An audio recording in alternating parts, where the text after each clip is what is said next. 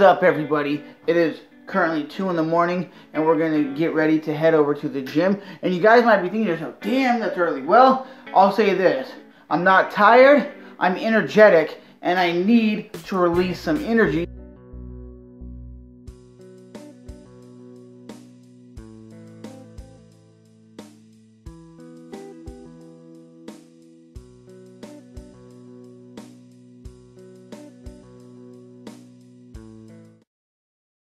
So we are doing three sets of 10 with 95 pounds on the bar.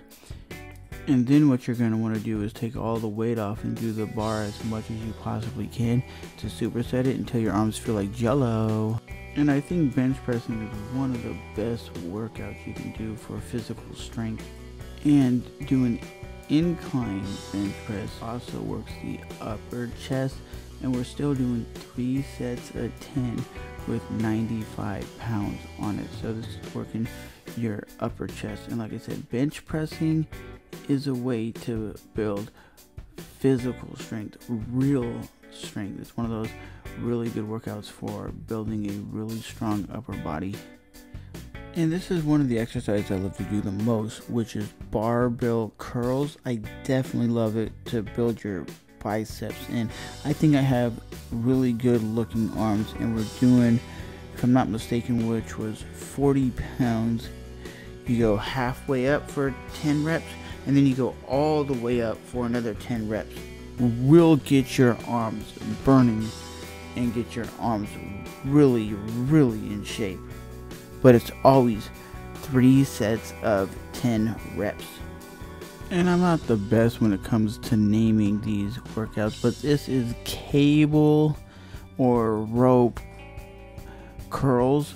So basically, you're going to take the rope and pull up on it like you're doing a barbell curl, but you're doing it with the cable. In this exercise, you're going to end up pulling your hands to the side like a 90 degree angle, and it really works your forearms and it's still another three sets of 10 and I was doing about 50 pounds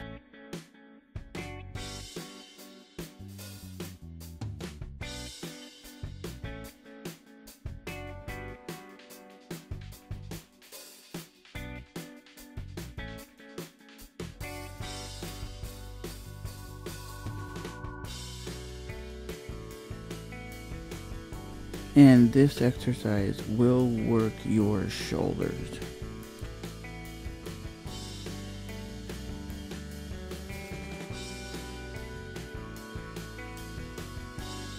And one thing I want to mention, every time you do an exercise exercise like this, don't arch your back or don't pull your back because you're not supposed to use your back because every time I see a lot of people in the gym, they're jerking their back all the time because the weight is too heavy.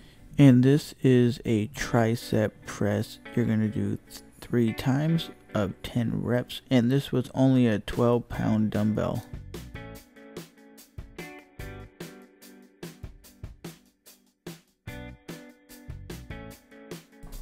And you definitely want to stay hydrated. So I only brought a 20 ounce bottle of water because I knew for my workout that's all I probably would need. But you always want to stay hydrated. So make sure when you go to the gym, bring water. I see so many people without water. Come on now, stay hydrated in this gym.